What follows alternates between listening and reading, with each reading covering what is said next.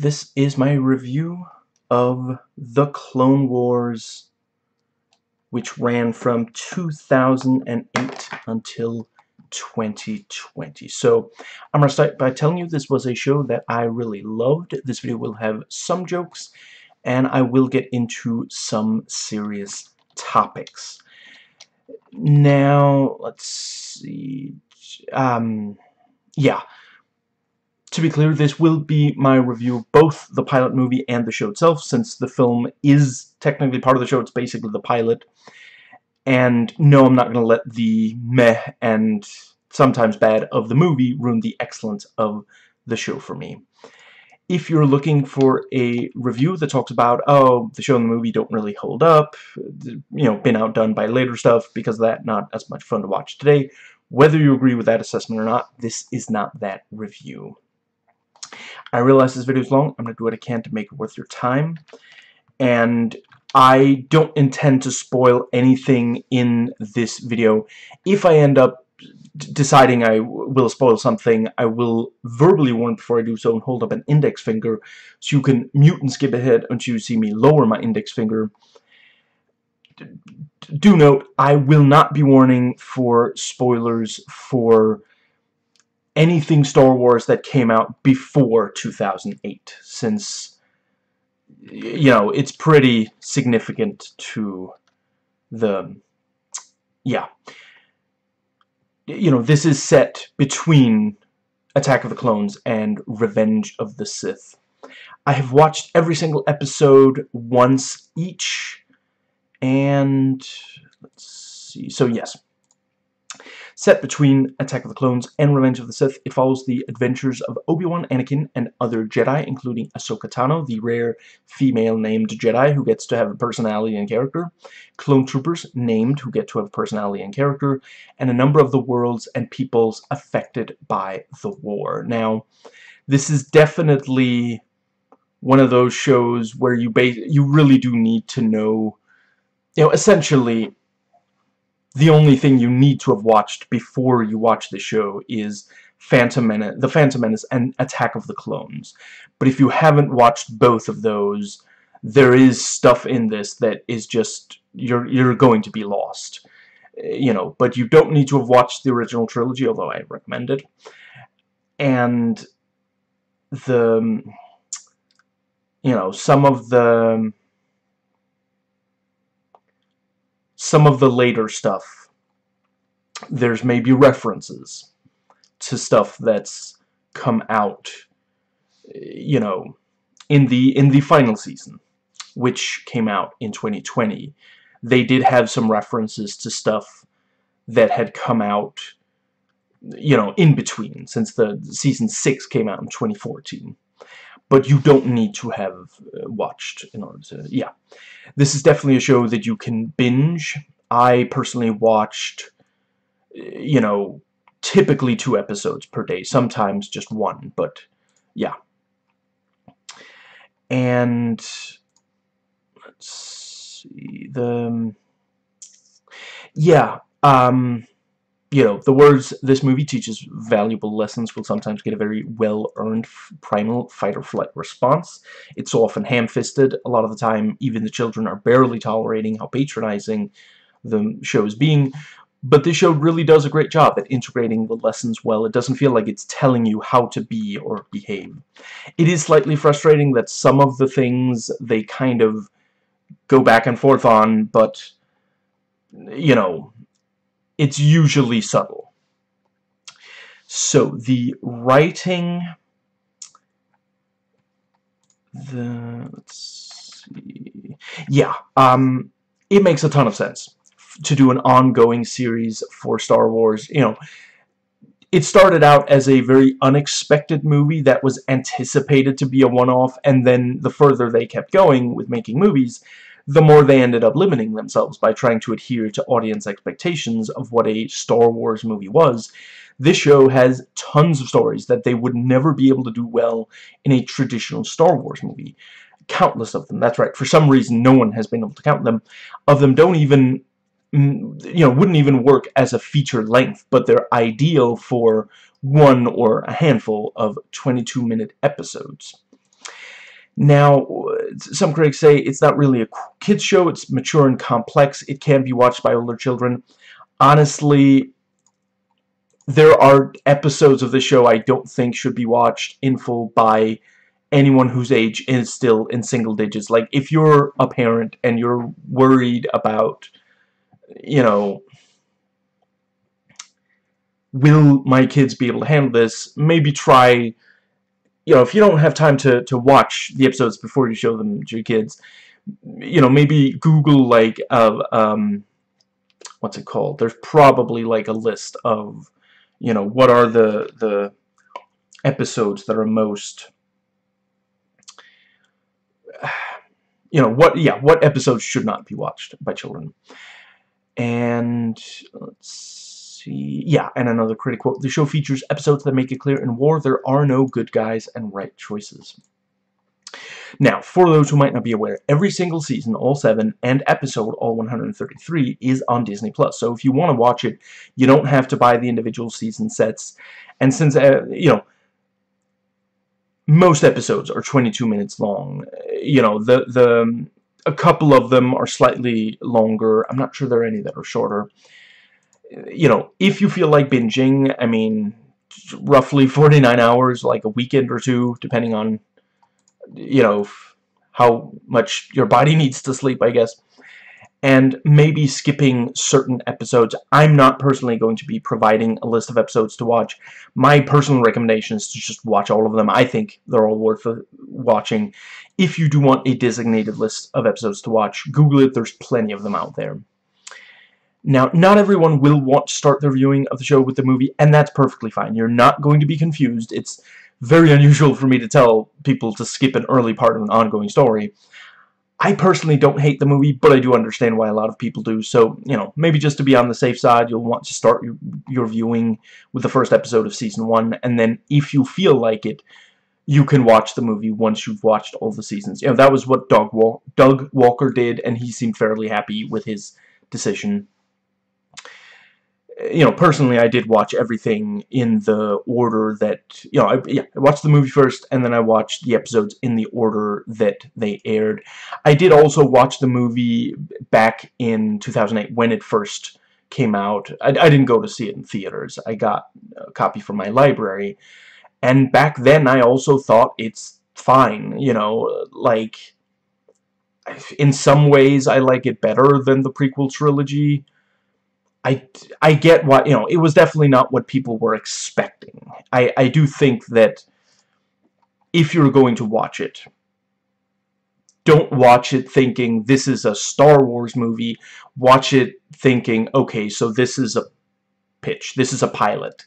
This is proof of concept. They're just going to tell me what this show is going to be like.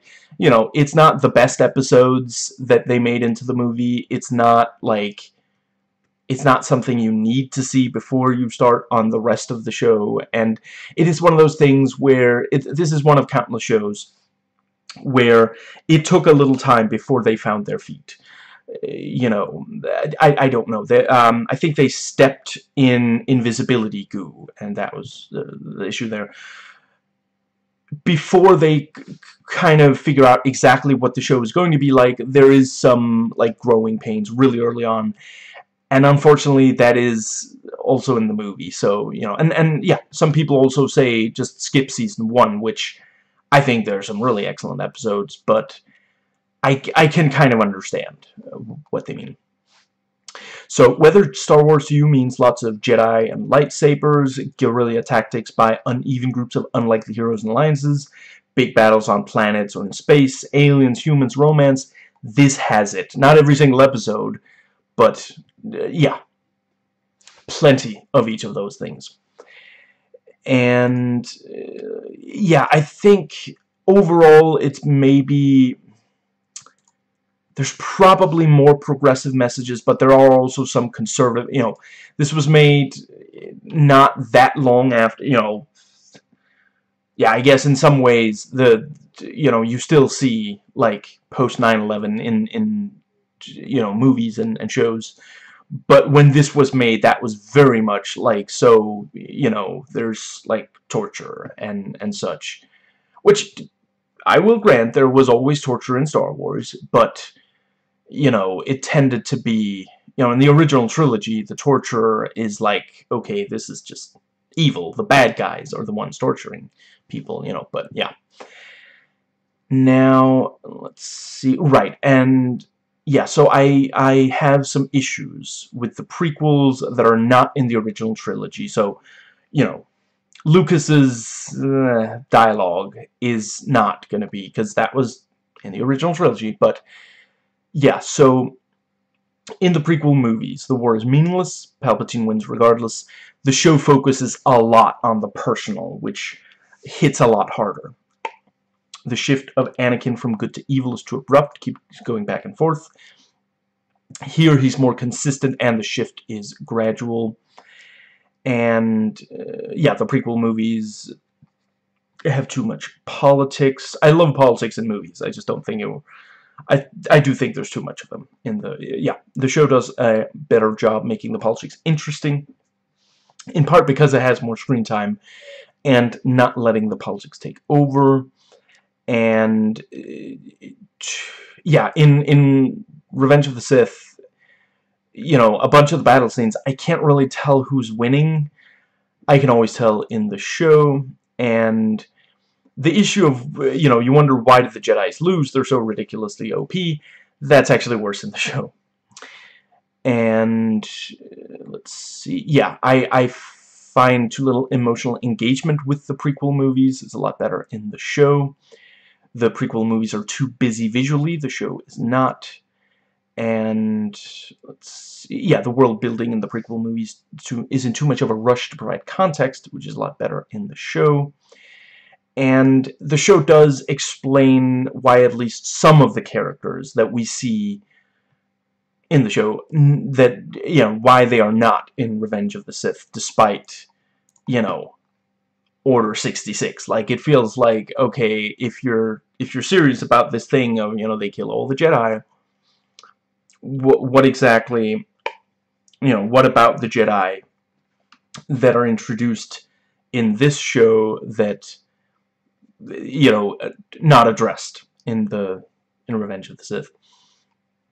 Now, let's see.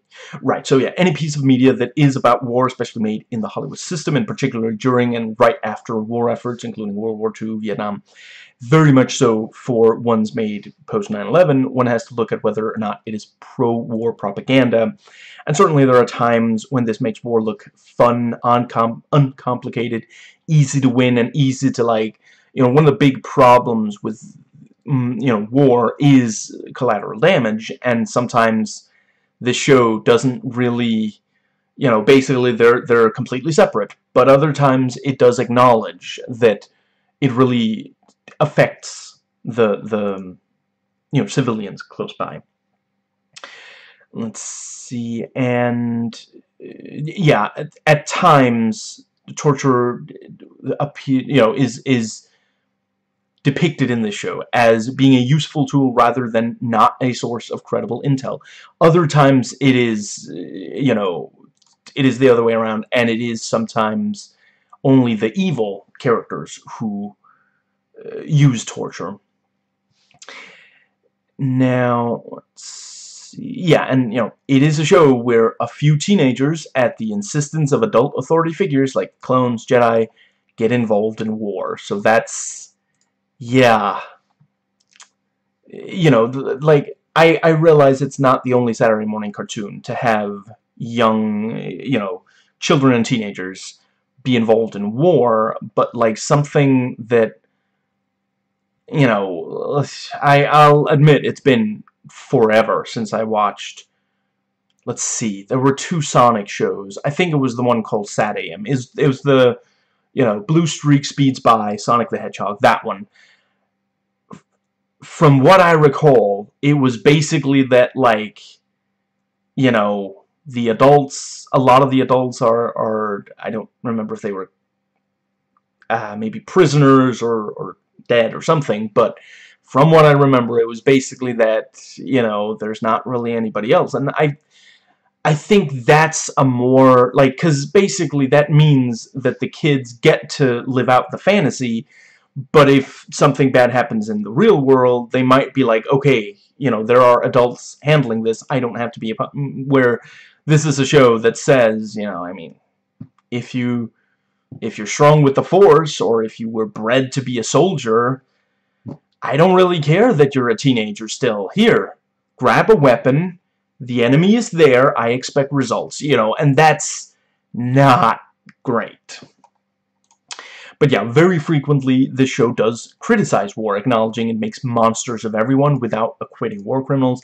And yes, the guys on the other side can aim, and you may lose countless people, some of them close friends eh, you know, maybe you'll even end up hurting someone on your own side. And let's see, yeah, since this features characters not in Revenge of the Sith, we don't know if they make it or not. Unfortunately, a lot of the time, it does focus on people we do know will make it. You know, there are, there's a lot of focus on Anakin, Obi-Wan, and Padme. To, to a lesser extent, Padme, but especially, you know, Anakin is in a lot of the show, and so is Obi-Wan, and like I get it. I get that they want to, you know, and they definitely they they have a more compelling relationship here than in Attack of the Clones, certainly. And let's see. It almost never happens that the show like wastes your time. There's very rarely stuff happening without either progressing plot or examining theme and let's see sometimes characters will be stuck in one location for a while and the situation worsens. They as they have to deal with multiple threats. Each time one is defeated or escaped they run into another. This is a time-tested effective way to get an entire episode out of relatively limited means. And that is also like you know in in American TV shows you can often tell and this was, you know, the uh, let's see, I guess the last two seasons were streaming, but the first five were on TV. You can usually tell, okay, they ran out of the budget here. Uh, you know, they were just they were they do a bottle episode or something. And I mean, sure, there are some episodes. I, I never felt like an episode of this was just like, okay, I don't know. We it's hard, man. It's hard to write 22 episodes to an to one season. Let's just half-ass this one. Now, uh, let's see. What at first might appear to be anti-droid sentiment, which obviously in real life, without droids with AI being abused, it's not super important, but could be taken as coded racism is really a pro-individuality message. You should go against your programming. You should not do what is expected of you unless that is good.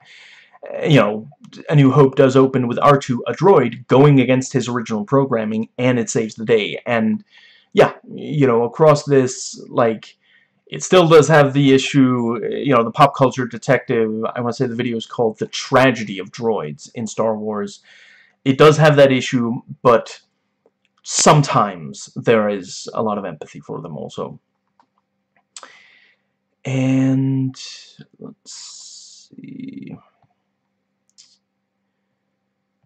And yeah, some the, the show acknowledges, you know, sadly it is true as an officer it's basically impossible to completely avoid people dying, so you just got you got to make it count.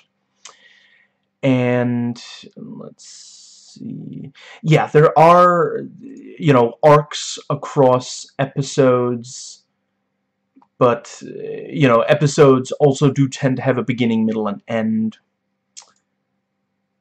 And, let's see. Yeah, so, the, the pilot. I get that by the time the movie was released, there were some very specific expectations for what you would get from a Star Wars movie but I can't help but note the things that are different from the yeah from the from the the episode movies you know episodes 1 through 9 of the Star Wars movies you know they do still take inspiration from some of the same places. Like instead of the opening crawl we have this World War II style newsreel update on how the war is going the way that a bunch of World War II things help inspire the way things are in the original trilogy and the opening of most episodes has a written message, basically the moral of the episode. Some people really hate that. uh, you know, I think it's fine. I didn't really feel like it was condescending. And let's see. So yeah, um, technically the pilot here is the movie, which a lot of people hate. I personally think it's fine. It's not as good as the show itself, but now that the movie and all episodes are on Disney Plus, it doesn't cost you any extra money, only time and possible mental and emotional well-being to watch the pilot movie. If you choose not to watch it, you can still follow the show fine. And you know, and personally I do quite like the it's not quite a pilot, but the first episode of the first season is is very very good. And really all all of the season openers are really really great. Uh, like uh, yeah, and all of the season finales are also great. Uh, you know, there's a... Um, I, I guess I will just briefly, it's it's not a spoiler to say, some, some people were frustrated that, you know, Season 6 and Season 7 were, like, you know, Season 6 was originally on Netflix, and Season 7 was always on Disney+. Plus you know, yeah, when it when it premiered, it premiered on Disney Plus and has been on there ever since. The um, season six and season seven, some people have said these were not really necessary, and I do think that if there wasn't an expectation of season length, those two seasons might have been shorter. It's basically like they do things that they wanted to do before completely saying goodbye to the show. You know it's it's fine to you don't have to watch all of them you know basically like yeah you can you can stop watching at season 5 or season 6 or you can watch all of it including season 7 but the yeah you know it's it's probably a good thing you know if you do watch season 6 and 7 when you go into it don't expect that they are like you know it's it's it's episodes that they wanted to do that if the show had gotten more seasons they probably wouldn't have been in the last two seasons. But, you know, it was stuff that they did want to do. They they apparently, like, straight up had... I'm, I'm not sure if they were, like, finished scripts, but they had, like, outlines lying around when the show moved, and, yeah. Now, that brings us to direction. Now, Dave Filoni did some really excellent episodes here. I'm really, really glad that he is still, you know, he still affects how, you know, new Star Wars, you know, like The Mandalorian. He has some, some hand in shaping that, for example. So, yeah, you know, really, really talented and, like, he gets how yeah, he loves Star Wars. He he has interesting stories to tell inside Star Wars. So, yeah. Obviously, it's not a surprise that the bad guys take hits during firefights, dogfights, but good guys do as well, although there is, of course, plot armor. Now, episodes won't necessarily end on outright cliffhangers, but most episodes, you know, yeah, you know, a lot of episodes do end in a way that will make you really badly want to watch the next one, which is, of course, very useful for a show that airs weekly rather than daily. Now, according to IMDb Trivia, in order to make the clone troopers sound like individuals, D. Bradley Baker recorded every voice separately and gave each one a different inflection. He liked to write down a particular adjective for each one. Some sound a bit younger, others a bit more proper, another may sound like a bully or a grunt. During later seasons, he was able to record all of the voices in the same take. And, yeah, you know, they are distinct individuals and, you know, given character development, which is really good because the moment that you have clones, especially as soldiers, it's easy to forget they're living beings and just consider them disposable and yeah, I really appreciate that. That was also a problem I had with the prequel trilogy, that, like, you know, why are why are the good guys just faceless clones when this was, like, you know, the original trilogy of Star Wars is very much about the little guy, this kind of David versus Goliath thing, and then you make a massive force of soldiers that work, you know, at first for the the good guys, and they're just this faceless mass that just, yeah. And there's actually, there's one episode where Yoda knows the individual clones, and he makes the point, just because you have the same DNA doesn't mean you can't be different. You know, in the real world, clones do not exist, uh, you know, right now, but some, human clones, I mean, but some people remain shocked that twins can be incredibly different from one another. And, yeah, droids are still given personalities, can feel things like fear and pain, so it is kind of gross that we're encouraged to cheer and laugh as they get hurt. I wish they just made them universally evil, like Dooku Grievous and other villain characters. You know, see, it's the the show doesn't have a lot of empathy for separatists. Some of them are just cartoon villains. I will grant that Bebop and Rocksteady are also frequently expressing fear and pain in the um, Teenage Mutant Ninja Turtles 1987, but, like, you know, un unlike Bebop and Rocksteady, the droids are dropping like flies. Like, Bebop and Rocksteady are most frustrated, sore, temporarily inconvenienced. I don't recall them even getting badly hurt. And, yeah, you know, on, on the show, like, we're supposed to, like, ah, you know, that droid is, is screaming in, in pain as, you know, he lost a, a limb or something, which is, again, like, I thought the reason that the bad guys are droids is so that you can cut off heads and limbs without them feeling pain so we can get the the cathartic thrill without the the horrific implications but yeah. You know and again not only this show also in you know not so much uh, um Phantom Menace there's, you know, some of the droids might express confusion, but I'm not sure any of them ever, like, express pain or really fear. But in Attack of, uh, I guess maybe not so much Attack of the Clones, but certainly Revenge of the Sith, which had come out before this show premiered. Let's see, I think on this show they needed to either change the approach to the personalities or not have a lot of droids be taken out. I personally vote for the former you know, considering it does change a lot. Like, Anakin is very, very different here. Much more charming, less whiny and such, so they could have given the droids personality transplants as well.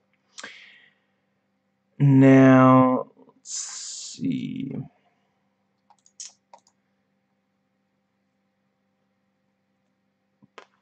Yeah, and, and, yeah, like Revenge of the Sith, you don't always feel like the good guys aren't in danger since the Jedi are so OP. And like the movies, the designs are all very creative and distinct. Locations, aliens, vehicles, weapons, tech, you name it. You know, there's this separatist general that's like a spider, and like, I'm not sure he always was, but at, you know, yeah, I'm not sure he is from the start, but in later appearances, he's also part cyborg, and it's just the coolest freaking thing. It's so, just, yeah. And, you know, you know how Mr. Burns does this? He does that with, like, the spider legs, and, and you can see the, the hair on the spider legs, and he's got the little just absolute mandibles or that is you know mouth thing and he's got ah just ah he's just so so you just uh get get him off the screen. Stop him Jedi stop that guy you know and it's just it's amazing. You know this, this is the kind of thing that we want from Star Wars and yeah, even alien faces that aren't very humanoid are very expressive, so nothing is lost in that regard, which used to be the case for alien designs, sometimes on purpose, like the xenomorph. Even when the faces are like tiny and scrunched together, or really big and seemingly look the same all over, there's still some expression there. You know, there, there's some where it's just like a tiny like the the mouth the the line of the mouth will go up or down it's just yeah absolutely amazing and the droids and the alien generals ruling them are sometimes designed to be real-life creepy animals spiders squids very effective in making them instantly creepy. And in some of the episodes the good guys will actually lose which I really respect appreciate. And uh, you know one episode says if your leaders are telling you to do the wrong thing even if it's what you're used to you have a moral obligation to go against them. And the the show can get very like episodic very uh, like ah, what's the word? There's a very specific word for like I'll have a moment. Anthology. Some sometimes they're very much anthology episodes individual episodes generally doing genres and stories that they couldn't center the entire show. You know, there's horror stories with like mind control and viruses. You know, there's one episode where there's a political assassination leading to a murder mystery. I absolutely love it. These are probably my favorite episodes of the show. And just, yeah, really, really appreciate the... Uh, did I really not okay, so yeah, just yeah, from memory, there's there's one with like, uh, there's a there's at least one kaiju episode. There are zombies in in at least one episode. You know, just some some really really yeah. There's there's one that is straight up like noir, and you've got like the the silhouettes and the the way that the light comes in just yeah really really amazing stuff this features a non-zero amount of instances of clones that are child-aged, teenaged, firing guns, reminding us of the fact that these are groomed child soldiers. I appreciate their episodes that acknowledge how dirty politics sometimes get, and let's see. Yes, yeah, so, some of the show focuses more on character development and atmosphere than action. Yeah, I, I did know, it's maybe the first two seasons have a lot of, of action, and later, you know, the, the show is never boring, but it's not always equally action-oriented, and sometimes it will be very much about, like, you know, let's, yeah, let's, let's examine these characters, let's examine this moral quandary, instead of just constant action. Which I do also appreciate. While obviously I do not enjoy watching Jedi die, I do wish the show would either not have them survive so many ridiculous situations, or preferably, not put them in so many situations that they shouldn't be able to survive. So I do appreciate that sometimes on the show Jedi do die. And the show adds depth to the characters we know in the movies, deepens the lore in ways that you can't do in the running time of movies. I think that the a lot of the best of the show is when it focuses on people, places, and situations we do not see in the prequel trilogy, even though this show is understandably beloved. I do think it is noteworthy that the various animated Star Wars shows that came after this are mostly, not exclusively, about characters, places, and situations not featured in the movies. And, let's see yeah, there's there's at least one episode that you know I I remember whether or not it's more than one episode. I just don't want to give away whether it's an arc or a one-off for new viewers. But there's at least one episode that talks about slavery and it underlines the monstrous things that the slavers do to control slaves. It's completely clear it's a monstrous thing to do to other sentient beings, which you know, sadly, like, there are Americans, including elected politicians, who still don't think that slavery was such a bad thing. And, yeah, I feel like this show can help, you know, encourage future generations to say, no, actually, slavery was bad. Now, I only watched the show recently. If you, like me, didn't get to it until now, then there are some characters, don't worry, I won't mention any names in this video, that we already know will survive this show because they appear in stuff that came out more recently and is set long after this, like The Mandalorian, but I assure you, the show is still really engaging even when you know certain characters will survive. And yeah, incredible variety. Sometimes you'll have a few people struggling to get to through tight claustrophobic caves. Other times you'll have countless people easily navigate wide open vistas. You know, it really takes advantage of all that you can do in the Star Wars galaxy, which is essentially limited only by budget and uh, and imagination, you know. So and you know, they did not really spare any expense here and there's a lot of imagination on display, you know. So, yeah, amazing. And yeah, there's this, you know, yeah, if, if you've watched the, the prequels, you already know about Coruscant, the, the city planet, eh, you know, where, and, and in, in, in some of this show, we see that you have to traverse from the upper parts of Coruscant to the lower parts by basically hugging the side of this tall, round building, eh, you know, the the um, you know it's the kind of thing where it like it's it's basically you know it's like of uh, an unpleasant commute but it's the Star Wars version of it. So it's not just driving you know in a, along you know the in the same direction for a really long time but just driving slowly downwards or upwards depending on where exactly you know. And let's see. And, you know, it makes a lot of sense that Coruscant would build up, not only out, since there's, you know, they have to have space for, for this, you know, absurd amount of people. The Phantom Menace doesn't really have a Han Solo type, and, you know, the, the, both Attack of the Clones and especially Revenge of the Sith did turn some of the Jedi major characters into Han Solo types, even though that's kind of a betrayal of what Jedi are characterized as in the original trilogy. This show does somewhat follow in those footsteps, but it does also feature characters that it makes more sense for them to be Han Solo types. You know, pirates, bounty hunters, etc. And yeah, this is definitely this is a very quip heavy show. If if you find the quipping in Revenge of the Sith to be to get grading, you may want to space out your viewing of, of episodes of the show or or like I don't know, I guess you could probably skip a lot of them the most quip heavy, but yeah, it's it's not my favorite aspect of the show. Let's go with that and yeah, some you know some some episode uh, yeah a number of episodes in this show you know they they premiered out of chronological order. Some people absolutely hate this. Personally, I think it's not that big of a problem. It certainly is a sort potential source of frustration because with a number of episodes, you can't immediately tell when they're set. At times, you might even miss that it's not set at the same time as the episode right before and or after.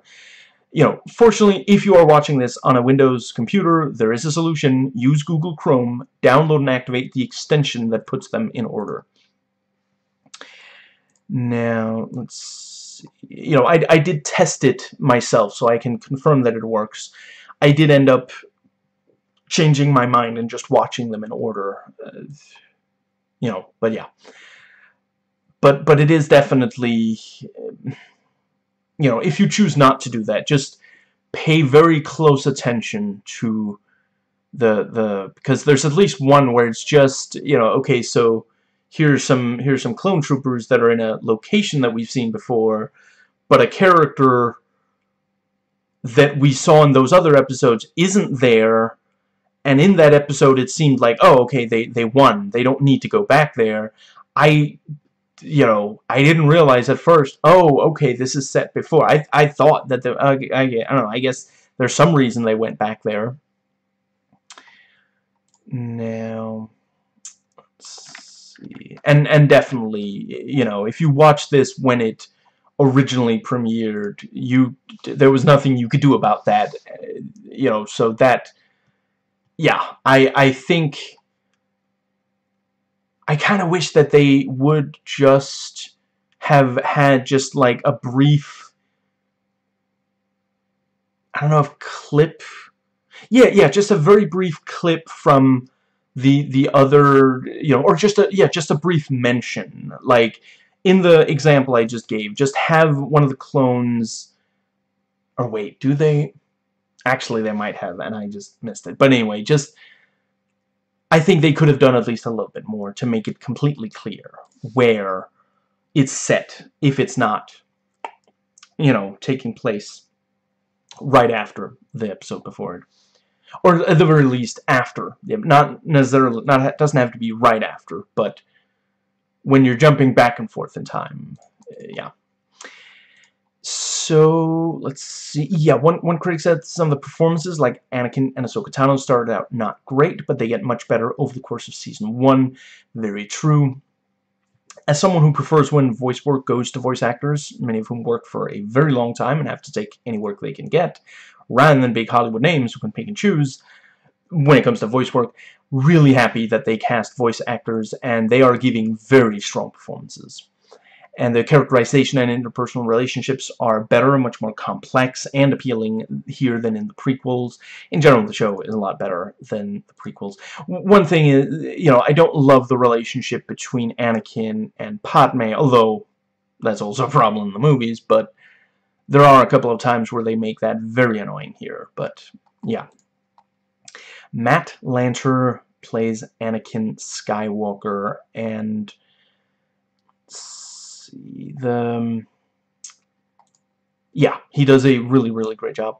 I don't know why they made Anakin look so square-jawed. He, do, jawed. he doesn't look very that much like Hayden Christensen. He really is one of the only ones to not look like his live-action counterpart. I mean, Hayden Christensen is conventionally attractive, so it's not that. He looks like an action figure, like a, or a 90s Hollywood action lead or something. It's yeah, I, I felt like it was very unnecessary. I, he already looks badass in the, the prequel movies, so...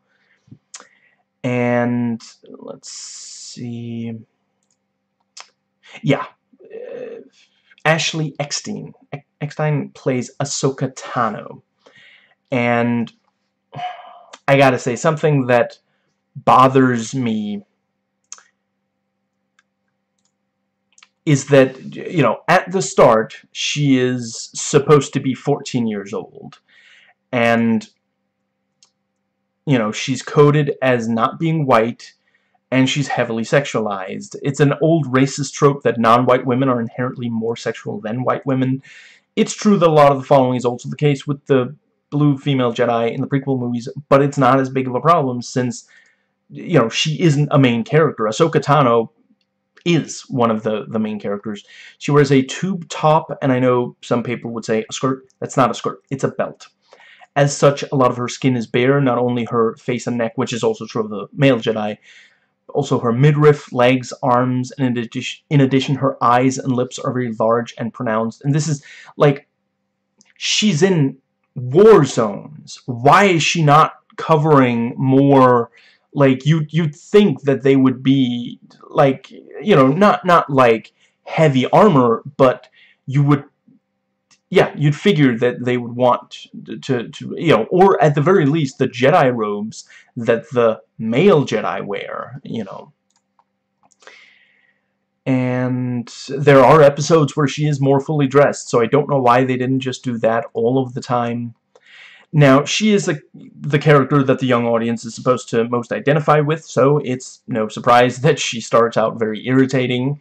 Think X-Men 97's Jubilee, think Wesley on Star Trek The Next Generation, you know, yeah. She does get a lot better. And also, in a lot of old reviews, people would make jokes about how she was premenstrual because apparently women should feel shame for that. That's the kind of thinking that worsens period poverty. Let's see. Yeah, some of the problems with the prequels are fixed for this. Unfortunately, some are worsened, and one of the things that gets some of both improvement and worsening is the racism. James Arnold Taylor plays Obi-Wan Kenobi, and yeah, the, the bickering between Anakin and Obi-Wan is much less annoying than in the, the prequels.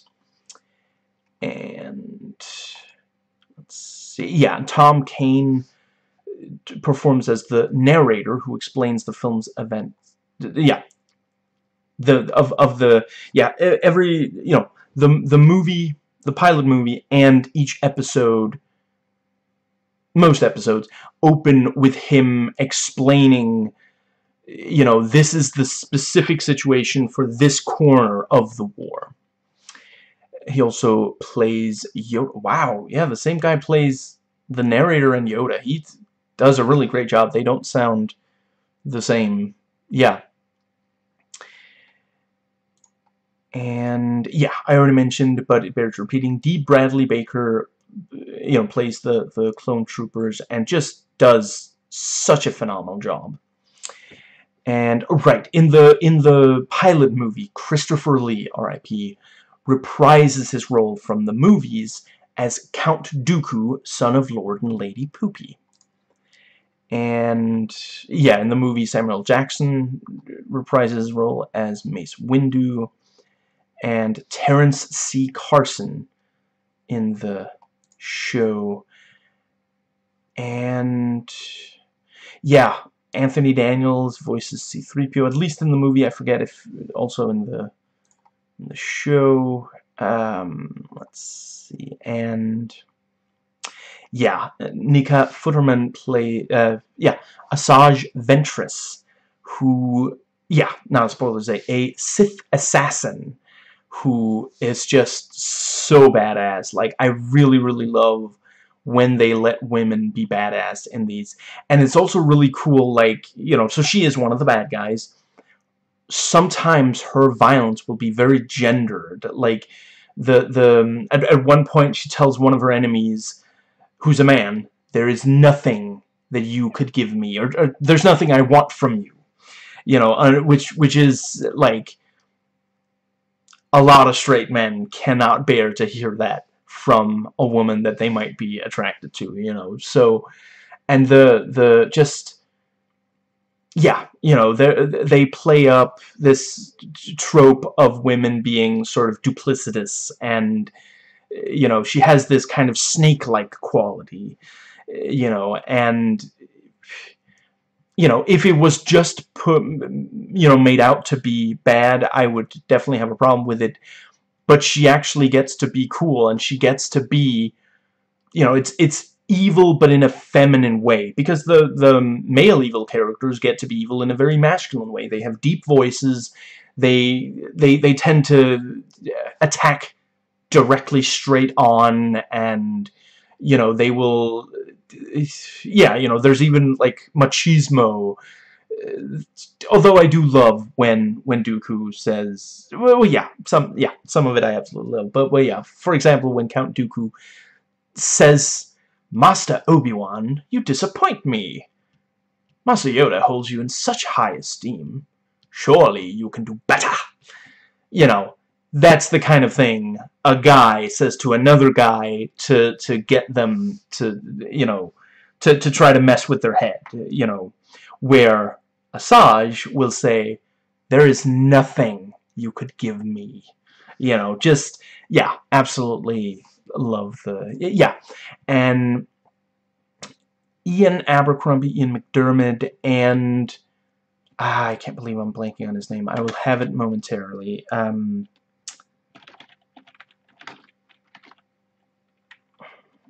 Really? Hmm. Um, right.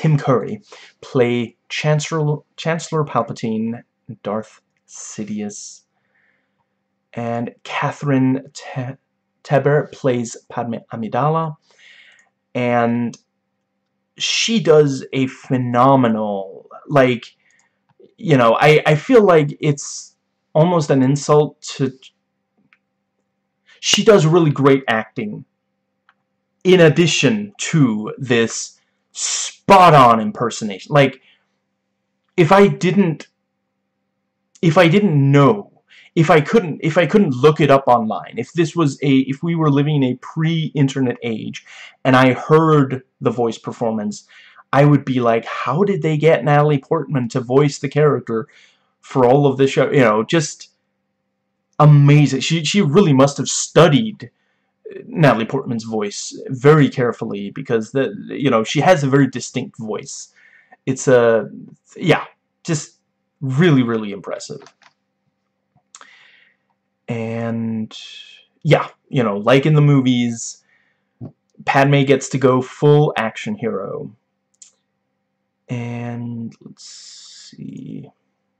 Yeah, and this show has both her and clones do the following. So, honestly, I thought it was only Jedi who could, like, kick battle droids and, and punch them and such without breaking bones. And so, like, I kind of assumed that the Jedi were, like, using the Force to protect their feet, like that famous example of Luke Skywalker using a force kick because wow did that kick not at all connect in Return of the Jedi? But you know that's what we that's what we tell ourselves. And I, I personally I think that's perfectly fine. You know there's a lot of movies that couldn't get away with that kind of thing. But yeah he's using the force whatever. If he if he can push using his hand why can't he also like make his kick hit further than his foot goes? But yeah apparently according to the show, it is possible to just kick and punch droids to the point where you, like, you know, break their legs? Is it called that when they don't have bones to break? I guess they have joints. And let's see. Yeah, yeah. Um, I just gotta mention there is at least one episode that I found very, very frustrating where the writing for Padme borders on character assassination. First, she's upset with Anakin for putting the war ahead of the two of them spending time together, when in Attack of the Clones she's specifically choosing a relationship with him, even though she knows that their respective jobs will put a strain on that. He's an important general. They spend a lot of their shared screen time bickering like an old married couple. Let's see. And she, you know, she does still think that she should, you know, do important stuff for the, you know, but Anakin doesn't, which is, you know, that is accurate to his character. That's where the character assassination ends. I realize that kind of thing was prominent in movies from the age that inspired the original Star Wars trilogy and a number of the things in the prequel movies. But while I do have issues with how gender-specific, bordering on sexist Padme is written in the first two prequels, and how bad it gets in Revenge of the Sith, which uh, is a whole nother thing, it was rarely this bad. Now, let's see. Right, and yeah, Corey Burton plays... Oh, he also played Count Dooku. Yeah, uh, Cad Bane, which is just, you know... Yeah, you... At me mentioning his name, you either went... Who?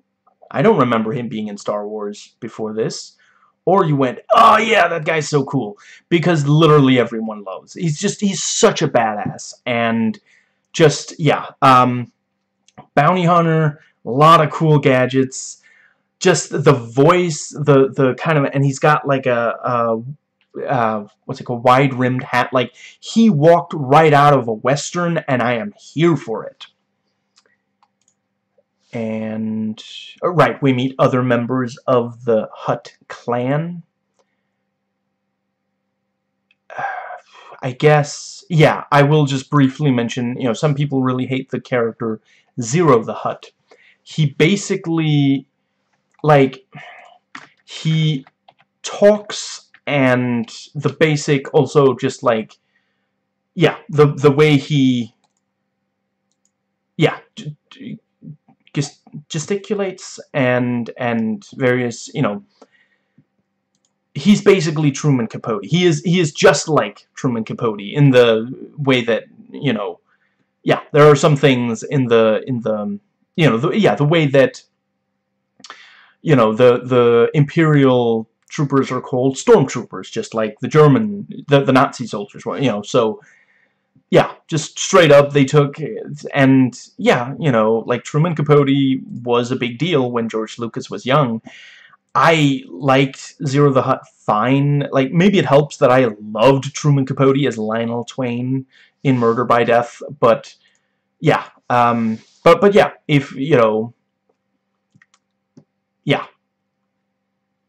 I don't think I have to detail what Truman Capote, you know, yeah, you you either know or you can definitely find like clips of it he had a very certain way of of speaking, and you know he wasn't like. From what I understand, Truman Capote wasn't trying to be offensive.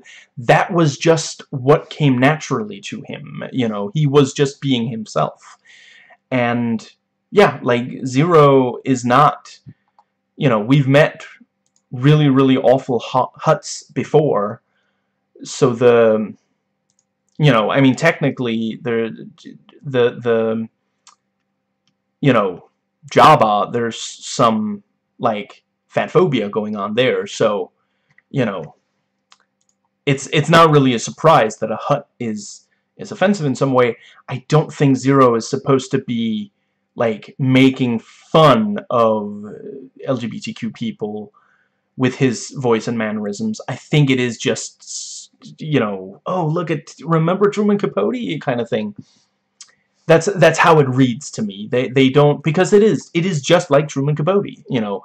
And sure, if that's you know, if you're not used to that or that bothers you, yeah, it's going to bother you in this show. And let's see, yeah, Kevin Michael Richardson as Jabba and Matthew Wood as General Grievous with his Cookie Monster voice. And yeah, um ah, uh, do I want to Yeah, yeah. Um Katee Sackhoff plays Bo-Katan Kryze and you know, I I've I've said it before and I'll say it again. If you, you know, you know it's a good day if you're watching Katee Sackhoff in serialized science fiction. You know, that's a, that's, yes, more please. And I feel like that might be a spoiler. I'll, I'll just say that some very beloved characters uh, reappear in this and are made more interesting. Ahmed Best and also B.J. Hughes play Jar Jar Binks, and yeah, uh, made worse in in some uh, respects. Sometimes, uh, you know, at least slightly better, but they do kind of. He's he's frequently as bad as he was in the Phantom Menace, when like George Lucas intentionally toned him down a lot for Attack of the Clones, so... And he's also in this much more than Attack of the Clones and Revenge of the Sith.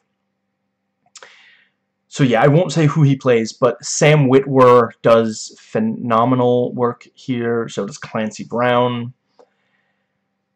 Ah... You know what, I, I will go ahead and, and say that Clancy Brown plays a character called Savage Opress, who comes from the same people as Darth Maul, and just so freaking good to see more of, of yeah. Um, let's see. Jim Cummings as Hondo Ohnaka, also absolute, just, yeah. Um, whenever you realize Hondo's in an episode, you know it's going to be a good one. He is, I guess, he's basically like a, a pirate lord and he's just like there's this kind of shamelessness but also a kind of charm. Like he can't kill his way out of every situation. He might like to but he can't. So sometimes he has to talk his way out of things and just yeah it's it's very very fun. And Olivia d'Abo plays Luminara Unduli nothing sexist in the writing of her. I very much approve Ben Diskin as WAC-47 and Azi 3, which are basically like comedy droids, but yeah, that's also very Star Wars. We've been there right from the start, you know, and yeah, they have personality. They're not boring. Robin Atkin Downs is here and great as usual. Um, yeah, one of the characters he plays is Rush Clovis, who had a relationship with Pop, or maybe they were just attracted to each other. I, I, yeah, I think they were just attracted to each other. You know, and that causes some friction between her and Anakin, which, yeah, so either skip that or be ready for that. Uh, right, uh, Gideon Emery as Lott Dod and Medici, and Jon Favreau as Pre Vizsla, which, you know, he also has a very distinct voice, so that was very interesting the first time you heard his voice coming out of a, a character. But yeah, um, you know, these days we think of we we probably think it, yeah, you know, he's he's the big Disney director, you know, he's but he can still act. He's still very very you know, he started as an actor in in the business and yeah, and and actually, you know, the character isn't particularly comedic, but he does very solid dramatic acting, you know. It's uh he has done other dramatic acting. I I I feel like I heard that Chef is completely dramatic acting, but yeah, you know, you could understand if he would be like, oh, "Can we please make him funny? I'm I'm the funny guy," you know, but which, you know, like that goes back a while. He's been, you know, very very funny in a lot of stuff in you know, anyway see, and right, and Dave Filoni himself plays Embo and additional voices. Right, I have a couple of more things about Asajj Ventress. Very creepy and intense. Brian George plays Ki-Adi-Mundi. He still hasn't put any pants on that obscene thing. King Katuunko. Right, Barbara Goodson plays Mother Talzin, who's basically like this witch and just yeah they do some really really great stuff with again like very very gender specific uh, you know there's a you know the the evil women on the show you know sometimes have more of a connection to nature and they use these mystical things uh, you know like there's always been magic in Star Wars but the Force, uh, you know, can be good or bad. This witchcraft stuff is clearly like, ah, you know, that's messed up. Really, really. So, yeah. And Anna Graves plays Duchess Satine Kryze, Sugi Mina Tills, and additional. And let's see. Yeah, I found it kind of frustrating and borderline sexist the characterization for Satine and sometimes also Padme to these writers, you know, even when in danger, these women care about their romantic feelings while the men manage to focus on the danger. When the men bring up the possibility of straight romance to other men, it's to be annoying, very stereotypical gender roles. They could easily have the men focus a lot on the romance as well and be accepting when bringing it up to each other. But, yeah, you know, Satine, like Padme, peaceful by trade, philosophy, and disposition, but willing to engage in some violence if it's in the name of ending violence, and both of them are good shots, so the show both has female Jedi being as capable as male Jedi, and female civilians who are still willing to fight, sending the message to girls and young women that even if they're not complete badasses, which is of course an option for them, they can still be important in other ways, even other violent ways. Jennifer Hale plays Aayla Secura and Riyo Chuchi. I can't help but notice that in a lot of her uh, Aayla Secura's appearances on this show, her cleavage is visible in almost every shot she's in, including a lot of the close-ups on her face. I do appreciate that she does get personality now. I don't think she even had a single line in the prequels, and I didn't know her name until watching the show, even though I've watched the prequels quite a few times. So, yeah, I have some issues with the sexism and with Ahsoka racism for a lot. I, yeah, most of the, the major female characters. And I do still think there are too fem few female Jedi. Like, some of the defining traits of Jedi is that they have to use their emotions, find nonviolent solutions to problems.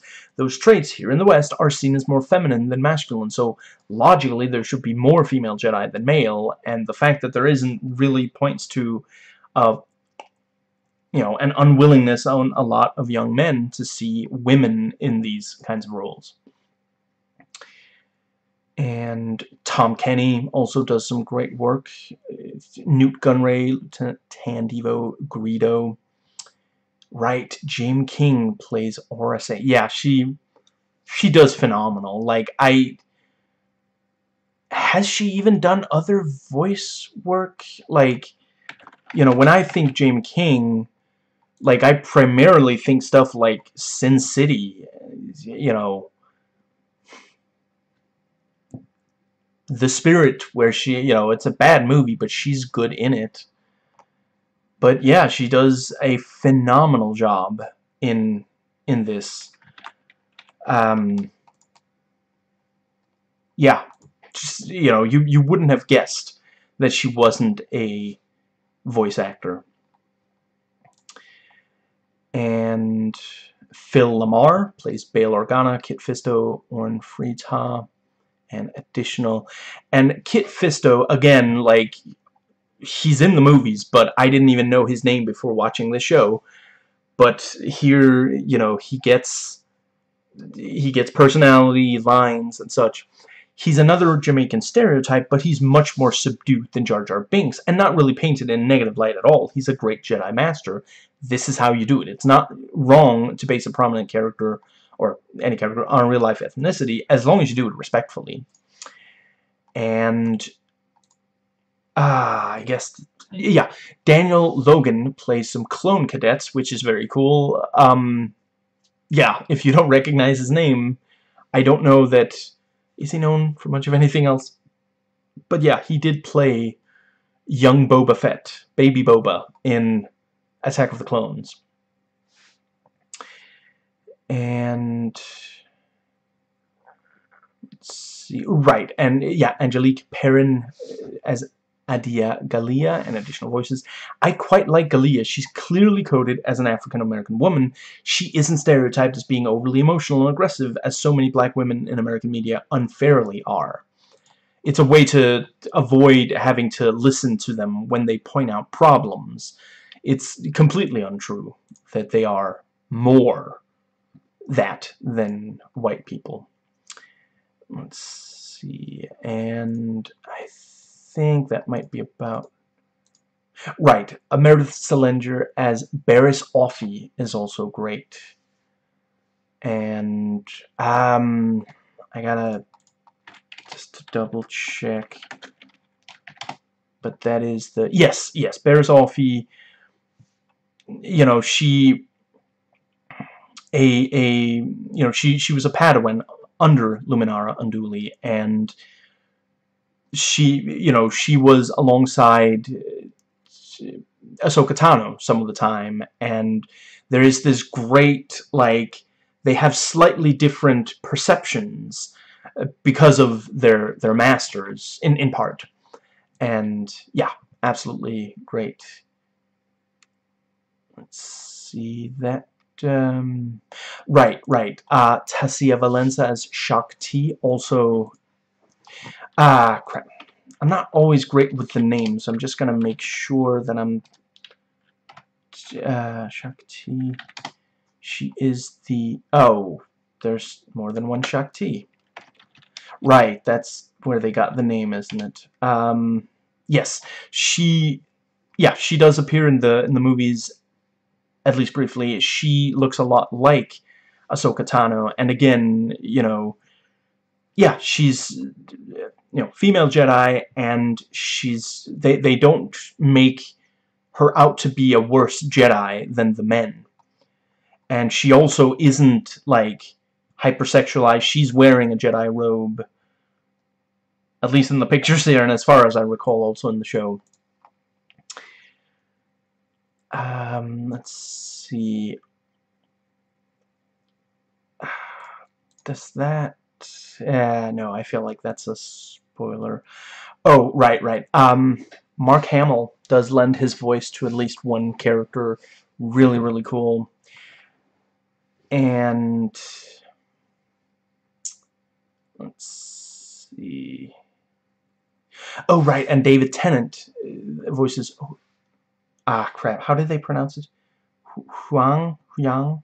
I I forget, but he was also really, really great. And just yeah, I mean, David Tennant um, after watching Jessica Jones, I could watch David Tennant in anything and everything. Like, the, the, just so amazing. So, so, yeah. Right, uh, yeah, misplaced these notes, but yeah, some more about Jar Jar Binks. Yeah, despite it being set after Attack of the Clones, he is as clumsy as he is in Phantom Menace, which is sometimes useful, but always racist against Jamaicans and, in general, you know, darker-skinned people. And... But yeah, you know, so there's some diversity in casting, and it does actually go to to try to understand the you know they're not they're not worse than the white characters and the male characters and such and such but there are some ways in which they are maybe different and that shapes their perspective. It doesn't mean that they can't do well. They can't you know some some people think that oh they must not be able to do their job well but no, they, they are good at their jobs, but they, you know, so, so young viewers of this can, you know, there's, there's some chance they'll be able to see themselves in one of the, the characters that is shown to be capable and it can encourage them to actually, you know, yeah, to, to try to pursue their dreams. Now, let's see. Yeah, some people really hate the, the dialogue, at least in early seasons, but yeah, um, it's, it's, yeah, early on there's some issues, but it gets a lot better after the first few seasons, and yeah, so cinematography is, you know, it's basically handled by the animators. But yeah, great camera movement, angles, lighting. Some episodes use high angles and far shots to create a sense of threat and surveillance. And there is at least one episode that's basically a noir murder mystery. They really nailed it in every respect. One of the main ones is the visuals. Silhouettes, shadowy lighting, the kind of window curtain that lets in bars of light. Just, yeah, which brings us to the editing, which is also solid. Like, they did a really good job trimming out... Like, it, I'm not sure it happened in the editing process. They probably tried to do this before they animated stuff. But, you know, they the show manages to avoid... Like, for example, if there are characters that are going to discuss a plan you won't necessarily have to sit and watch them talk about the plan. It'll just go to them carrying out the plan because you're going to see the plan. You know, if you, like, if they follow the plan, you're going to see the plan. So you don't need it explained before, unless it's, like, if it's very, very complex, they might go, go over it. But, you know, that's just one example. There's a lot of stuff like that where, yeah, they, they tend to avoid. And it's also, you know, a number of the characters have met before the show starts you know, there are some that will meet and you'll have like, oh, that's the first impression they got and kind of thing. But uh, for a bunch of them, you know, and it's also, you know, the show assumes that you know what a Jedi is, that you know, uh, that you understand the, the basics of the war, so they're not, you know, hand-holding you through that, which again would just be annoying because you can't watch this. You won't be able to follow this if you didn't watch Attack of the Clones and probably also Revenge of the Sith. But, well, yeah. Got it backwards. If you didn't watch The Phantom Menace and Attack of the Clones before this, you will simply be lost. And no, you can't even, you know, it's not enough to watch The Phantom Menace because the war hasn't started by the end of that one, and you can't skip ahead until Attack of the Clones because there's some really important stuff in The Phantom Menace that just, you know, you're not gonna have any clue who Jar Jar is if and and why people keep him around in this show if you didn't watch the Phantom Menace. So, yeah.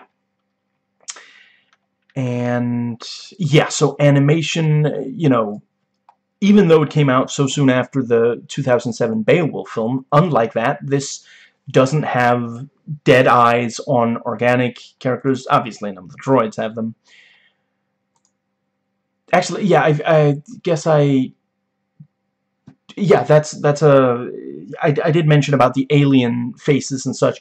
Droids, you know, they also...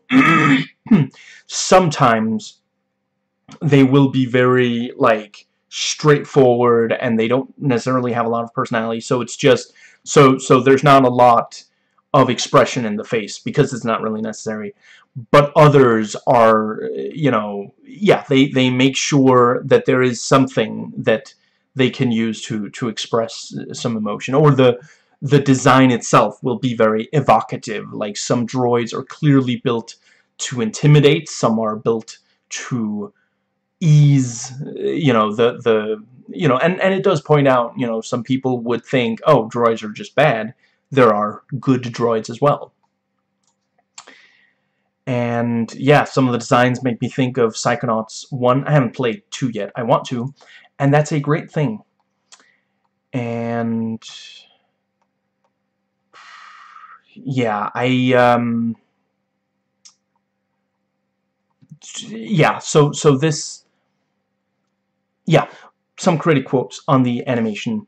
Like one giant moving oil painting, it's beautiful. Feels like 3D version of the Genndy Tartakovsky show, which is very true and great choice. Yeah. And yeah, so let's see. Uh, yeah, the character design. Well, Lucas is on record as wanting a look reminiscent of Jap Japanese anime and the Supermarionation of Jerry and Sylvia Anderson. By way of review, Anime is designed to use flash and visual impact to disguise the reduced number of frames per second of the animation, frames per second determining the smoothness of an animated figure's motions. Supermarionation is basically the stringed puppets brought to life and more or less enchanting the pants off a select, rather lucky group of kids. Any possible appeal it possesses comes from the brassy music score. You often didn't know whether to listen or march to the music, and the solid, incredibly detailed sets the Marionades pretended to walk on. Combining anime with Supermarionation successfully combines the worst of both worlds the clunkiness of anime, usually hidden by quick editing, various musical and visual punctuations, bursting lights, wind ruffled hair, blurring music, and the woodenness of marionettes. So that is a very harsh description of it. I and and it's important to note this was from a review of the movie, not the show. I, I think there's definitely some truth to that, and it is an interesting perspective. I, I if I hadn't read that, I wouldn't have realized all that stuff. But it gets much, much better. And it really isn't as bad as that makes it sound. But, you know, you can you can just watch, like, the first little chunk of the movie, and if it's not appealing to you, just stop and just go to the first episode. Or, you know, wherever you decide to start. But don't let that harsh description talk you out of watching the show at all. And, yeah, so, um there's some really great, like, they do a really great job of rendering, like, large battles and personal, like, there's some really amazing lightsaber action on this show, you know. In, in general, I would probably say the I, I prefer the action on this show to the action of Attack of the Clones and Revenge of the Sith. I do think there's some really great action in The Phantom Menace, but yeah, it, often the show tops it. And right, so yeah, um, the action features chases on foot and in vehicles, lightsaber action plentiful. There's logically enough like the prequel trilogy, not original or sequel trilogy, eh, but there is also a lot of variety. Bounty hunter action with gadgets, physical fights, martial arts, shooting including shooting while in vehicles, use of superpowers, superpower items, equipment, and vehicles. There's a lot of action in, it's especially early in the show, but really, yeah, it it's it doesn't keep being like non-stop action after I think it was maybe I think season 3 was when it started being more atmosphere and character examination but there is action in all seven seasons and yeah, well choreographed, very lots of tension and suspense, fast-paced.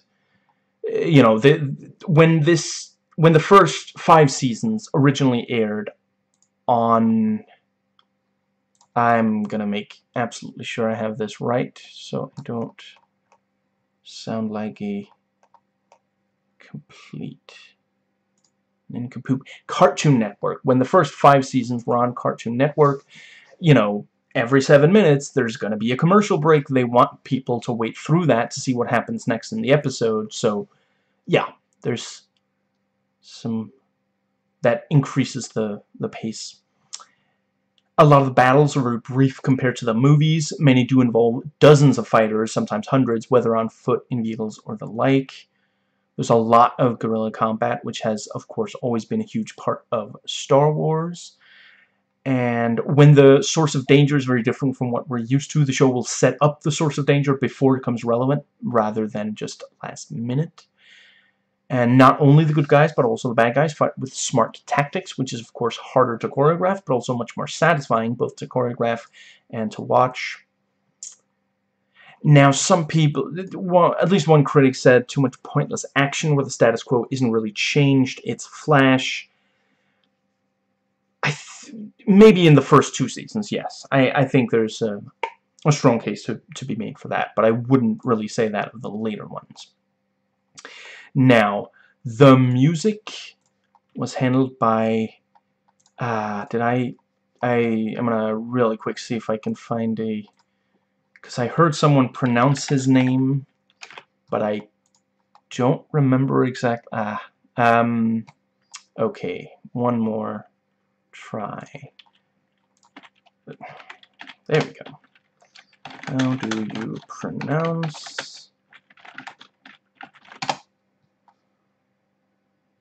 Um, okay. So. Kevin Kiner. That sounds familiar, yes. Kevin Kiner. I think I thought it was Kinnear, but yeah. Kevin Kiner composed the score for this. He has 93 credits for TV in total as composer, and just he does an amazing job here. Um, and this is not the only animated Star Wars he has scored for. They brought him back, which makes a lot of sense.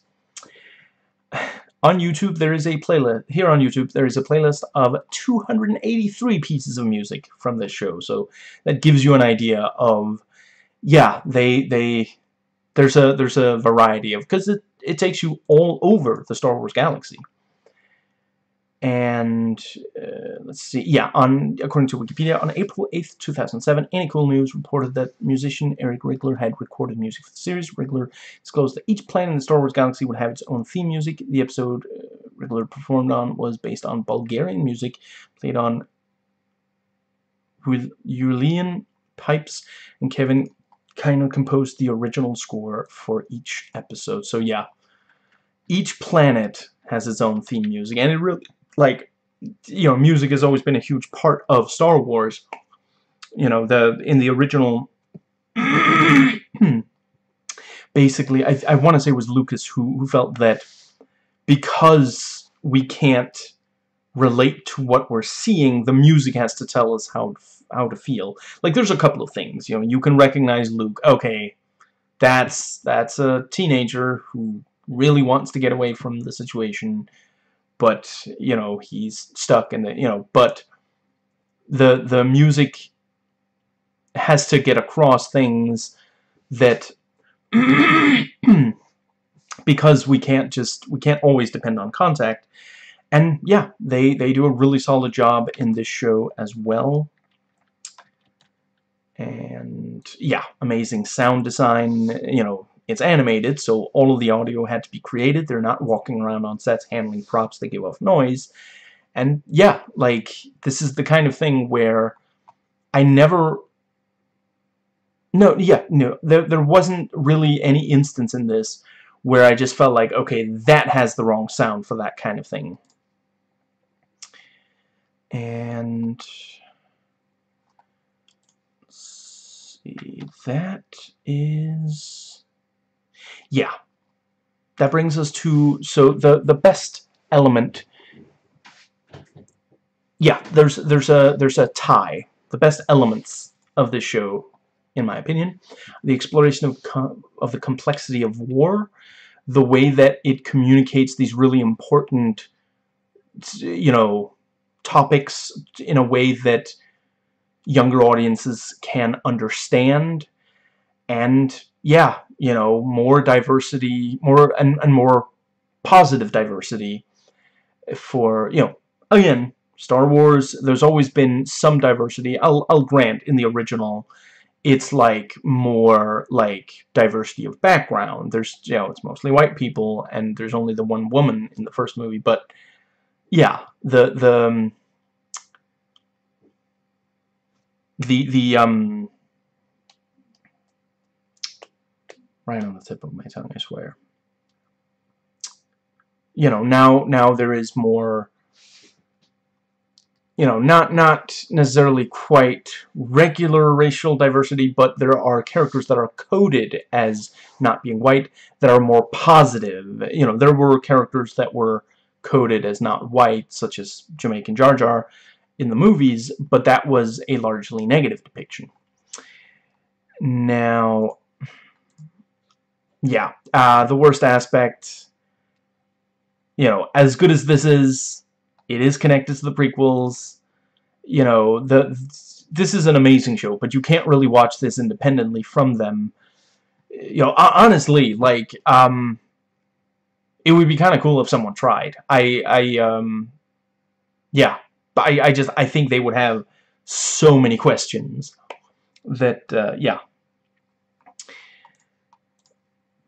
But, but yeah, ultimately, I don't think it's a big deal. Like, you know, if you if you love the original trilogy, like maybe maybe like sit down with some friends, maybe like have some some beer, maybe maybe watch it with riff tracks or something. But yeah, see if you can get your yourself through the the the Phantom Menace and Attack of the Clones and then watch at least some of this show because it's just so so freaking good. And you know it helps that they're now also you know part of the reason that I started watching this now was that they're actually following up on you know there's there's stuff that appears in this show that's followed up on in some of the more recent Disney Plus uh, Star Wars stuff. So yeah and I'm really really glad that I now have more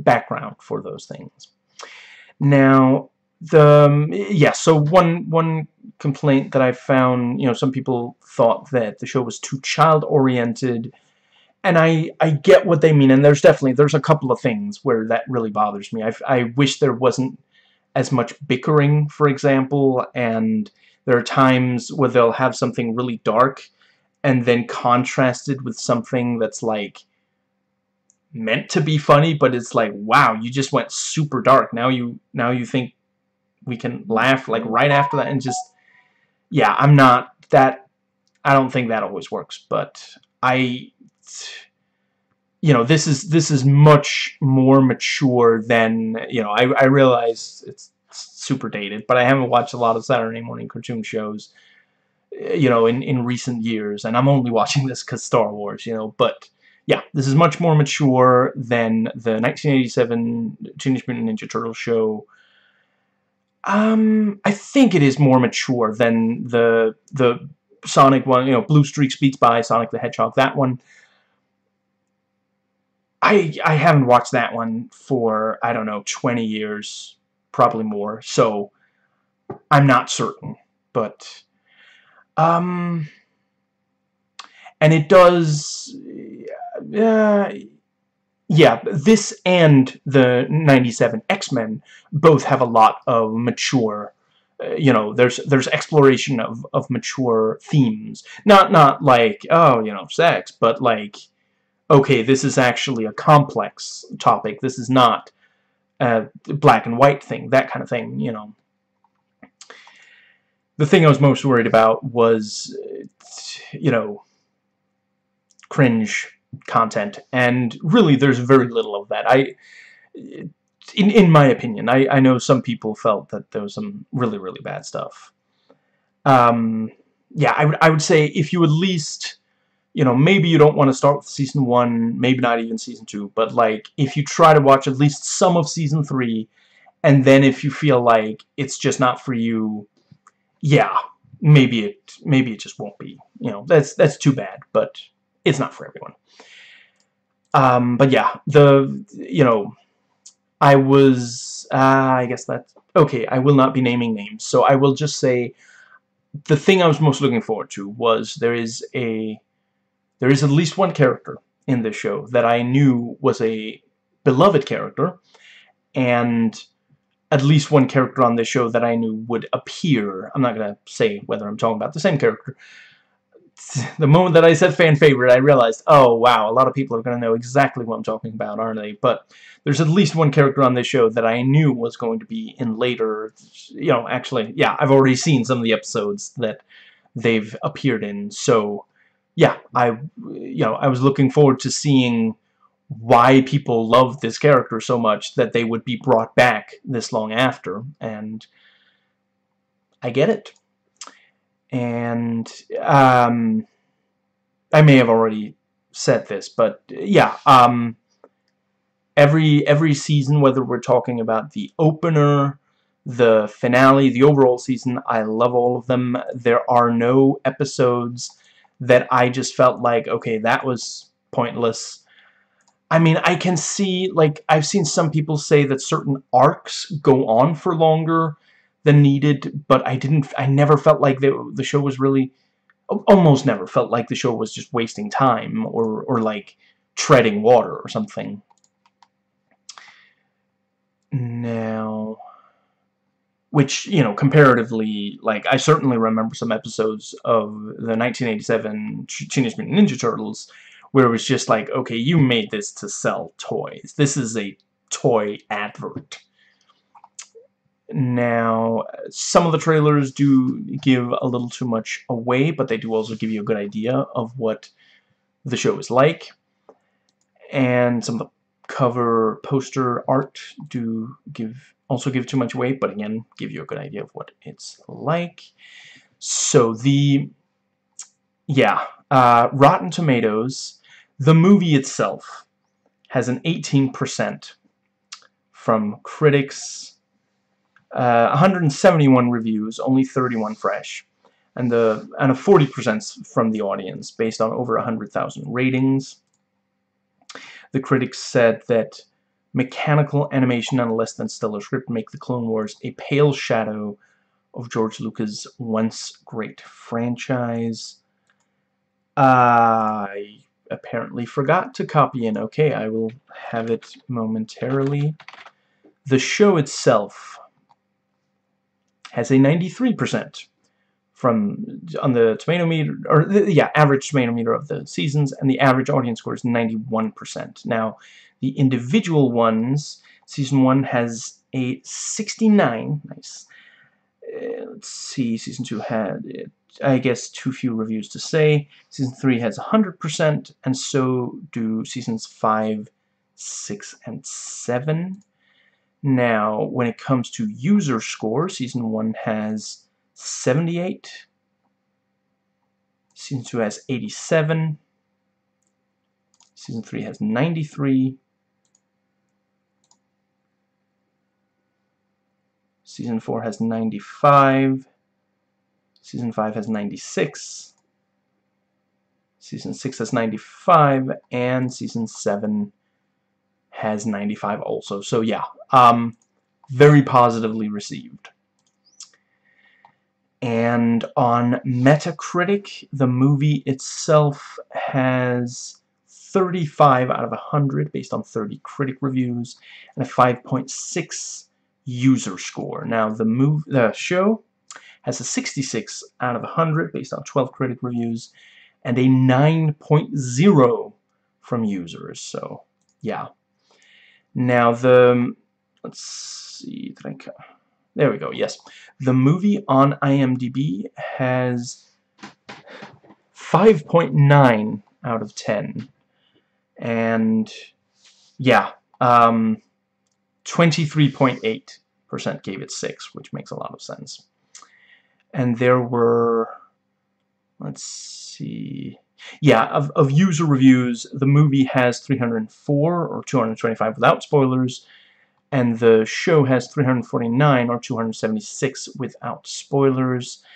And I, uh, let's see, I read the for the for the show itself. I read the top voted 100, I guess without spoilers, and let's see. Yeah, and and the movie, yeah, the IMDb external reviews section I could, the, um, let's see, 80 of the 213 links for the movie and 42 of the 71 for the show. Links were in English and not dead links. Now, the show, oh, right, right, yeah, and the, yeah, um, the movie was nominated for a Razzie, Worst Prequel, Remake, Ripoff, or Sequel, which, of 2009, I mean 2009. Wasn't that also the second Transformers movie? I hear that one's terrible, so maybe that one was the winner. Anyway, the show has an 8.4 out of 10 based on 94,287 IMDb user votes. 31% gave it 10, 21 point, 31.1 gave it 10, 21, 25.1 9, 25.5% gave it 8, 10.3% gave it 7, 3.4 gave it 6, 1.6 gave it 1, hmm. 1.5 gave it 5, 0.7 gave it 4, 0.5 gave it 3, 0.4 gave it 2. And yeah, it won 27 awards and was nominated for a total of 74. So I'm not going to go over all of them. I am just going to let's see. I'm I'm yes. Um, Dee Bradley Baker won or, uh, nomin was nominated for playing the Clone Troopers, Nika Futterman for playing Asajj Ventress. The editing was nominated. Uh, Kevin Kiner was nominated for at least one episode, and yeah, a bunch of the voice acting in general was nominated, including Mark Hamill's and James King's. So yeah, as well as a lot of the the main cast. Um, Okay, this is a long list. So, um, yeah. Very, very positively received. Yeah, Sam Witwer did actually win for his role, and that makes a lot of sense. He's amazing in it. And, yeah, so the, um, there is violence in this. You know, people are shot and clearly die. They don't, you know, it's not one of those really family-friendly things. But there's relatively little, at least human blood. And, yeah, you know, um, there are implications of, like, sexual things, but it doesn't get into, you know, yeah, um, and and a lot of it will fly right over the the kids' heads, unless their reflexes are too fast, in which case they would catch it. And the let's see, yeah, there there doesn't really tend to be like offensive language. Yeah, and yeah, um, there aren't any extras on Disney Plus. Um, you know, if you want extras, you're going to have to buy the, the season sets. I guess that's where their head is at. That's probably the decision there, because, you know, comparatively, like, most MCU movies have good stuff, and some of them have a lot of stuff. So, but, yeah, um, I guess, yeah, yeah, uh, I rate this 10 anim incredible animated Star Wars shows out of 10. I'm not saying everything's perfect, but the strengths so greatly outweigh the weaknesses. Um, yeah, it's rare for me to rewatch shows, but I wouldn't rule out rewatching, maybe even later today, even though I'm also going to be watching Rebels. But yeah, uh, the show absolutely holds up. You know, there's there's some stuff from like the mid to late 2000s where you go back and watch it and it's like, wow, what were we on? But this is not one of those. And yeah, I think, you know, and this is almost definitely the plan, because Disney likes making money, this is a show that people will, you know, it will get new viewers as Disney Plus, you know, produces more stuff that is following up on events and characters in this. And yeah, so the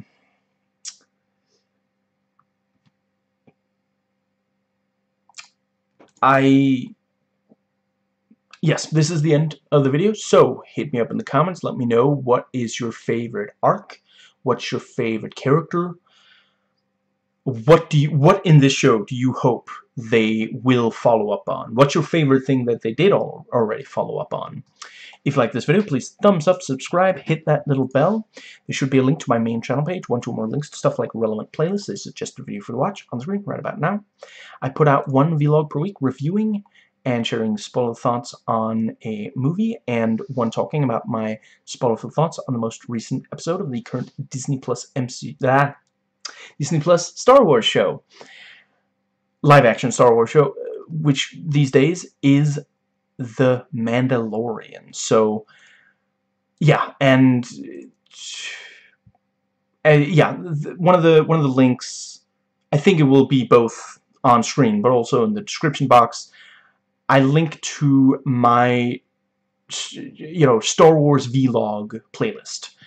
I have vlogged about all 11 of the movies, a couple of the games, and yeah, you know, basically everything of the shows that I've watched so far. So, you know, all the, yeah, all the live action ones I've watched, and this is the first, and well, well, yeah, before this one there was the Genndy Tartakovsky Clone Wars, but other than this, this is the first. But, you know, if you want my thoughts on the individual seasons of the show, check that playlist. And, yeah. Recently, the review and thoughts videos tend to come out very similar to this one, but with the thoughts in the same video instead of in a separate video, since uh, movie's running time is significantly shorter than a show. In other words, if you want videos like this, you're in luck. You can check out my back catalog as well as catch me next week. I hope you enjoyed watching, as I enjoyed watching and recording. I'll catch you next time. May the Force be with you.